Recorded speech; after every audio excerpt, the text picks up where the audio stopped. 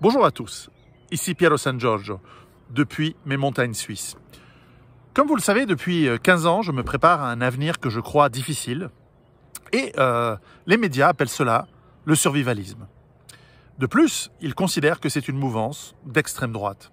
Or, il se trouve que personnellement, je me considère plutôt anarchiste à tendance libertarienne, c'est-à-dire que je n'aime pas l'État, je ne veux pas d'organisation étatique qui s'occupe de, la vie des citoyens. Je veux que nous soyons libres et que nous euh, ayons des transactions entre nous sous forme de contrats, euh, libres de, contraintes et bien sûr sans l'intervention de l'État, sans la police, sans l'armée, sans tout ce qui fait l'organe euh, de contrôle, de répression de l'État.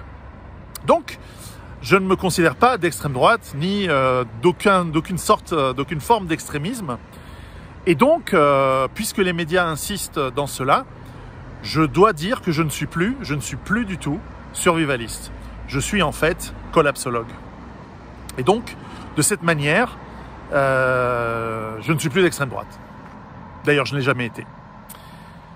Je sais que dans un pays voisin, un peu fou, un peu, euh, un peu en voie de tiers-mondisation, l'État, malveillant et maléfique, essaye même de faire une loi pour contrôler euh, les survivalistes pour contrôler les stages, euh, etc.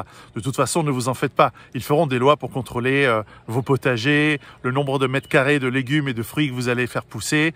Et puis, un jour, ils réglementeront à quelle heure vous pourrez aller faire pipi et ils vont peser vos défections pour les taxer parce que c'est tout ce qu'ils savent faire puisque ce sont une armée de fonctionnaires et qu'ils se nourrissent sur la bête qu'est la population jusqu'à ce que le système s'effondre. On est tout proche de toute façon.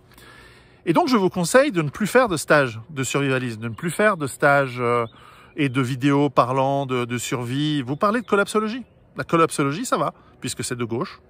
Et alors moi-même, j'ai essayé de perdre du poids pour devenir collapsologue, et je le suis désormais. Là, j'ai perdu 10 kilos depuis, euh, depuis quelques semaines.